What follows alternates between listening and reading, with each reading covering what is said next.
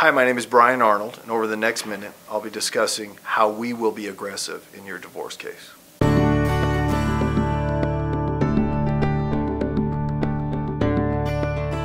We are aggressive, and I'll tell you why we're aggressive. We're aggressive because we're strategic. And if you have a correct strategy in place, that is being aggressive. Now, a lot of people ask me, well, are you aggressive? And they look for that quote unquote bulldog attorney to go in and scream and yell for them. No, we use the law and the facts to be strategic and aggressive.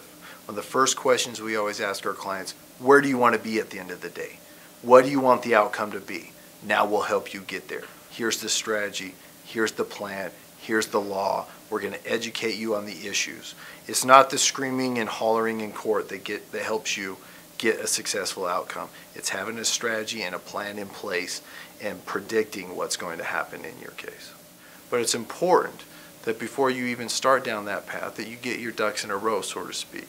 You start looking at your situation, seeing how you can improve it, seeing what the court's going to look for. And that way you'll have a better sense of where your divorce will go.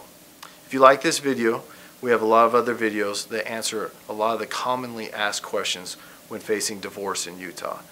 Otherwise, you can contact us through our website or call us on the phone.